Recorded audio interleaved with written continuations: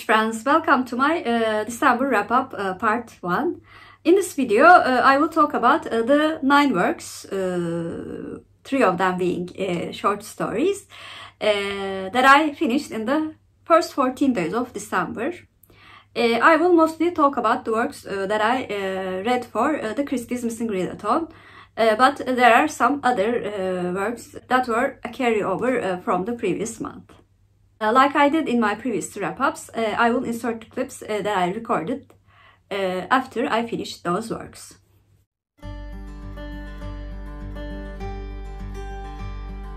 Today is the 1st of December and I finished the novella that I was listening for two days, uh, which was called The Agony Column by Earl Derr Biggers. I became aware of this uh, mystery novella when I watched a video of Mark uh, whose channel name is Book Time with Elvis, when he talked about uh, Friday freebies. Because this novella is available on Gutenberg project, uh, he advised uh, this uh, one. And this novella is written by the author of uh, the Charlie Chan mystery series.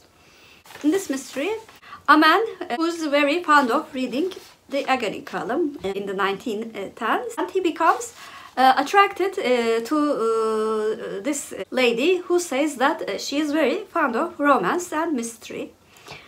So he makes a plan to impress this girl and, and promises to write seven letters in seven days without revealing his name. Uh, uh, and the girl uh, finds this very intriguing, of course.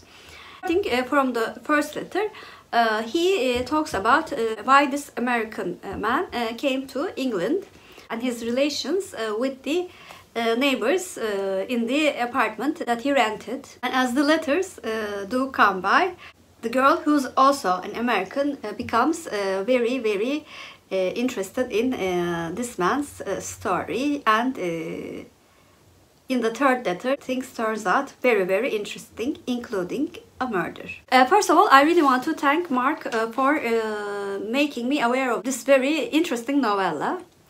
Uh, I found uh, the writing style very, very uh, approachable and also very clear and the idea of telling a mystery story through letters, I think it was a very novel idea considering that it was written during 1916. I also really uh, did like the structure of the mystery, uh, aside from uh, being told from the letters. I really did wish uh, that I had not guessed the uh, plot twist uh, correctly and became more surprised in the end. But still, I thought it was a, very, very uh, decent uh, novella. Uh, so in summary, I gave The Agony Column by Derr Biggers an 8 out of 10.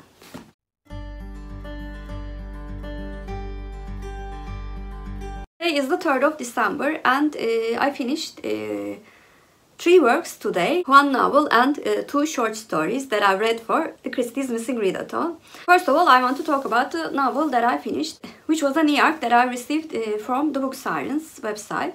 A Duke's Daughter by Kathleen Buckley. In this historical romance book, Emily is the daughter of a deceased uh, duke and her cousin, who is the current duke, uh, falls uh, through uh, hard times financially. Emily decides to accept uh, his offer of her marrying to uh, a rich but a low-bred man in order to secure both of their finances. Thus, Emily marries Ambrose Hawkins, who's rumored to be a pirate at one time. Uh, as they uh, struggle uh, to overcome their differences, a murder charge affects and their growing fondness for each other. I really did like the writing style of the author. I think she managed to uh, create very uh, three-dimensional characters, uh, which is not very common in historical romance books actually. As much as I love that genre, I have to admit that. So it was a, a fresh take on the character uh, aspect. And I truly believed uh, in the gradually growing fondness of the uh, characters who are very different uh, from each other. On the other hand, the mystery aspect, which should have been a side plot, felt a bit dragged uh, and uh, especially in the middle uh, section of the book, I felt like we were losing the main genre of the book, which was romance. After the mystery wrapped up, the execution of the happily ever after was perfect. All of these missed feelings, I gave uh, A Duke's Daughter by Kathleen Buckley a 7 out of 10. In the first day of uh, the Christie's Missing Readathon, uh, I finished uh, two short stories uh, for the short story prompt. I read uh, the first short story also for the Christie Fest, which was The Mystery of the Christmas Pudding. In the Hercule Poirot short story, Hercule Poirot is invited to a traditional Christmas celebration in which uh, a mysterious um, theft and a murder happens. This uh, short story was one of the earlier short stories which featured Hercule Poirot. And uh, I really uh, did like how the mystery was structured uh, in a few pages. And I also uh, did enjoy the twist in the end. I think it's a great sample of a short work uh, if you want to know uh, how uh, Agatha Christie wrote in 1920s and 30s especially. So I would strongly advise you to uh, read this uh, short work uh, if you want to know more about Agatha Christie. so in summary, I gave The Adventure of the Christmas Pudding by Agatha Christie an 8 out of 10. And the second uh, short story that I finished uh, for the Christie's Missing Readathon uh, was the short story that featured uh, my directive. As I mentioned in our previous video, uh, I'm the uh, team captain of Team Marple and this was the first short story that featured Miss Marple, the Tuesday Night Club. Short story belonged to the short story collection of The 13 Problems. Uh, this short story was shorter than the other one and uh, it also had an introduction uh, part uh, in which we are introduced uh, to the members of the Tuesday Night Club, one of them being, of course, the quiet and very clever Miss Marple, the aunt of the famous writer Raymond West. And in the second section, we are introduced an event that happened uh, during an investigation of a police detective. The remaining members of the club uh, tried to solve uh, the mystery. I read uh, the short story with a smile on my face all the time. How initially uh, Marple is uh, ignored by everyone and she is not even asked uh, if she solved the mystery or not.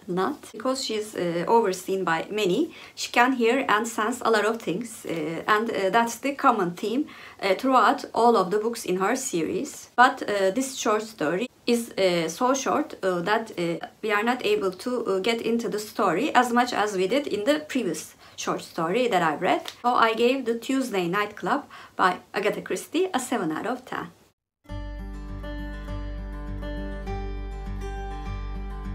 Uh, today is the 8th of uh, December and I finished uh, Six Against the Yard by the Detection Club. Uh, this book uh, was the book that I chose for a Golden Age author and uh, it included short stories from six Golden Age authors who are the members of the Detection Club. And the book had a very interesting premise. Six of the authors in the Detection Club wrote short stories including their version of a perfect murder.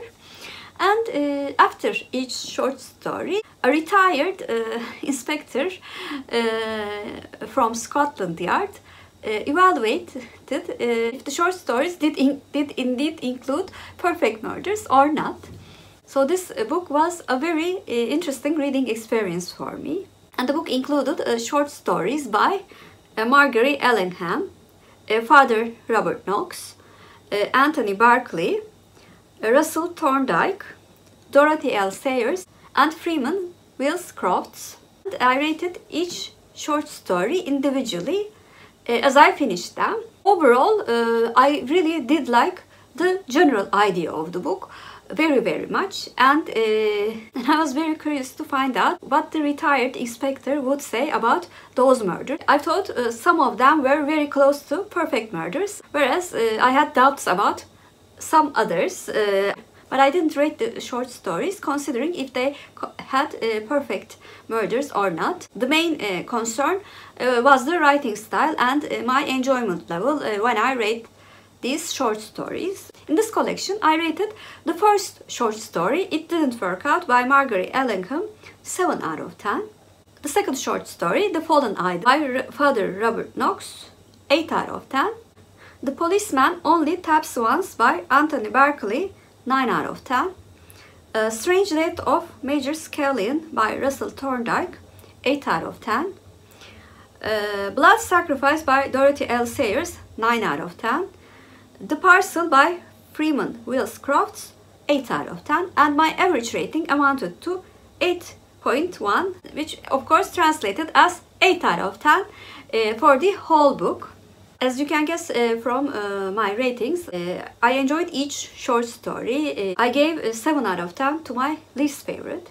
I can clearly see that the members of the detection club took their jobs very very seriously uh, because they were all impressive works of short fiction. So in summary I can say that even though I knew that I would like this book, I did not know that uh, this book would be such a huge success and I'm very glad uh, that I discovered the Detection Club through this readathon.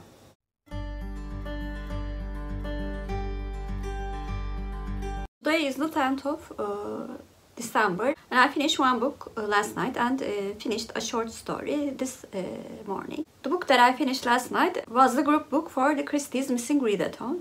I reread uh, And Then There Were None by Agatha Christie. Uh, this is uh, my uh, favorite uh, close circle mystery for sure and certainly in my uh, top three mysteries of all time.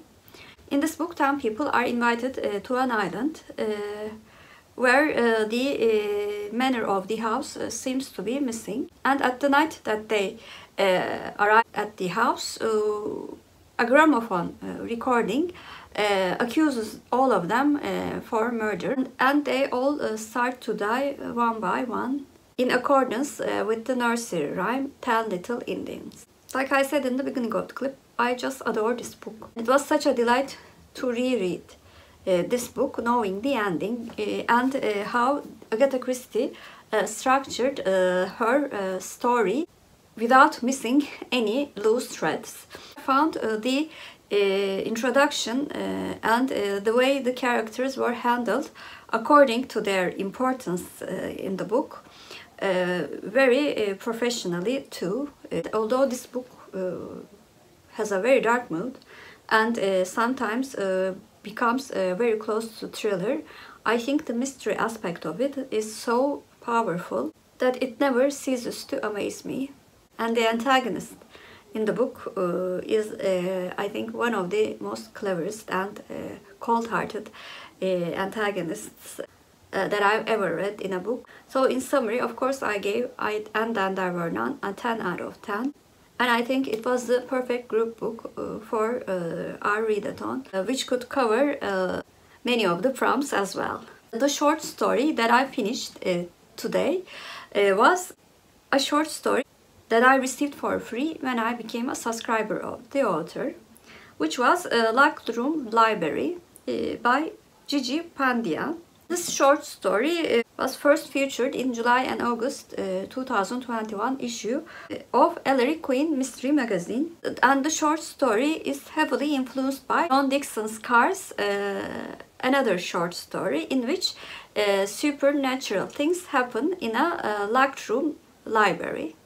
Also, uh, it was sort of like a, a, love letter to all the golden age mystery authors because the present uh, time uh, library uh, is a library for uh, mostly for the classical mystery uh, works. our heroine works in the library. Some unexpected things happen in that library too. our heroine and her best friend uh, tried to solve uh, the mystery of the locked room library. I gave uh, this short story a 7 out of 10. Uh, I actually liked the mystery a lot, but the story was uh, too short for my taste. Uh, unfortunately, because of this shortness, none of the characters were fully developed. But I like the author's integration of ethnical elements into the story. And I plan to read more from uh, Gigi uh, Pandian uh, in the future. Uh, she is the author of uh, very enjoyable and light-hearted mystery series, uh, which I think will be much better than this very, very short story.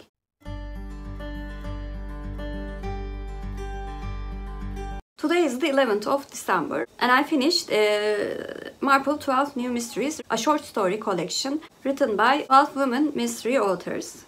In all of the 12 uh, mystery short stories, uh, Miss Marple was of course the central character and the authors wrote uh, a Miss Marple uh, mystery short story using their own uh, techniques and their own influences.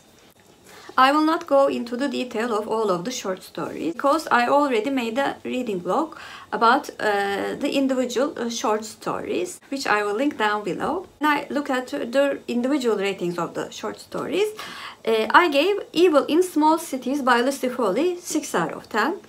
Uh, the Second Murder at the Vicarage by uh, Val McDermid 6 out of 10. Miss Marple Takes Manhattan by Alyssa Cole 5 out of 10. The Unraveling by Natalie Haynes, 8 out of 10. Miss Marple's Christmas by Ruth Ware, 8 out of 10. Uh, the Open Mind by Naomi Alderman, 6 out of 10. A Jade Empress uh, by Jean Kwok, 8 out of 10. Uh, A Deadly Wedding Day uh, by Dreda Say Mitchell, 6 out of 10. Uh, Murder at the Villa Rosa by Elly Griffiths, 7 out of 10.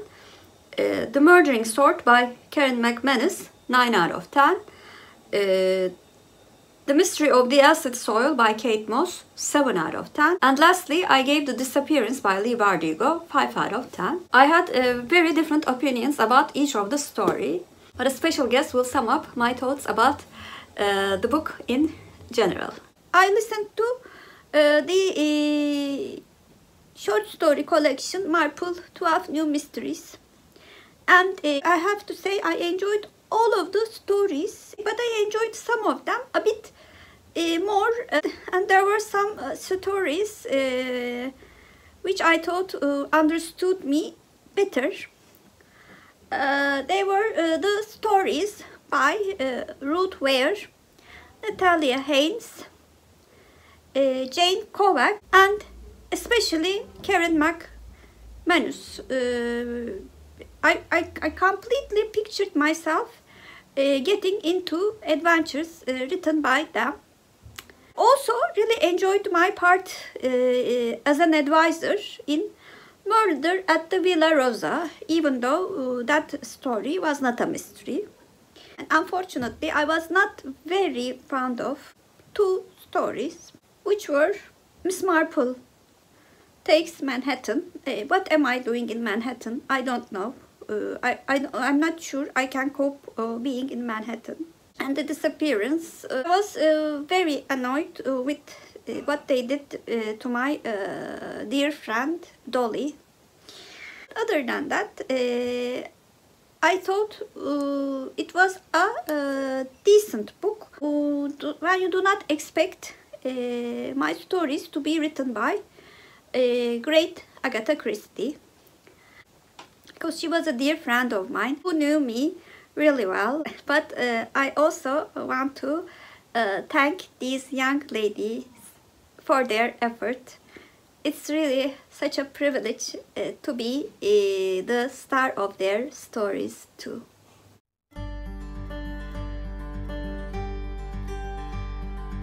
Today is the 14th of uh, December and it is the last day of uh, the Christie's Missing Readathon. And I finished uh, the last book uh, that I planned uh, to read for the readathon, which was uh, Murder at the Vicarage by Agatha Christie, of course. I read this book for the prompt of a book featuring my detective, which was Marple. I want to thank all of you who joined Team Marple. And even though I have never been a competitive person, it was great to lead a team. Anyway, Murder at the Vicarage uh, was the first novel in the uh, Miss Marple uh, mystery series. Uh, in this uh, first full-length uh, work, Miss Marple helps the policeman and the narrator of the book, the vicar, to investigate a murder that happened at the vicarage, of course. This was uh, the second time that I'm reading this book. And uh, I gave uh, the book uh, 4 stars when I first read it. Uh, even though I did not uh, change my rating, uh, I looked at my Goodreads review at that time, which I did uh, 10 years ago. And it said that I really did not like the all-knowing Miss Marple, which I read very, very curiously. Because in this reread, I kind of understood why Miss Marple acted uh, so subtle and uh, tried to be uh, quiet about intuition before connecting the details. So uh, it showed uh, my uh, view that as I as I got older, I understood Marple much much more. Also in this book, I found a wit uh, that I had not discovered uh, before. Narrator uh, uh, was a very witty person, and he used irony as a source of wit, which is my favorite type of wit in books. I truly enjoyed uh, this uh, book upon a reread too, and uh, just because the mystery was not as solid as some of her books, uh, I didn't change my rating and uh, gave Murder at the Vicarage an 8 out of 10. So this was uh, the total of nine works, uh, three of them being short stories, of course, that I finished in the first 14 days of December. Uh, please comment down below, have you joined uh, the Christie's Missing Readathon? And also, have you read any of the works that I mentioned in this video? And if you're a new viewer, first of all, welcome. Please like and subscribe. Hope to see you very soon. Bye.